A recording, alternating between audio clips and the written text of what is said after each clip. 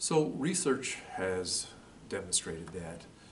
your patients with varying levels of osteoarthritic change in their joints, even osteoarthritic change that is not visible radiographically, typically have some level of capsular inflammation or synovitis. Regarding that, we need to give patients therapeutic motions that are gentle, non-loaded,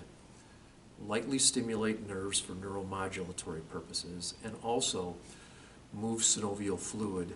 within the joint in an effort to reduce inflammation of the synovial fluid and to reduce inflammation in the synovial lining. In your hip patient who is having pain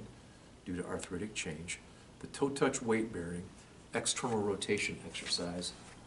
is an exercise that you can prescribe to reduce discomfort and to reduce inflammation in an arthritic hip.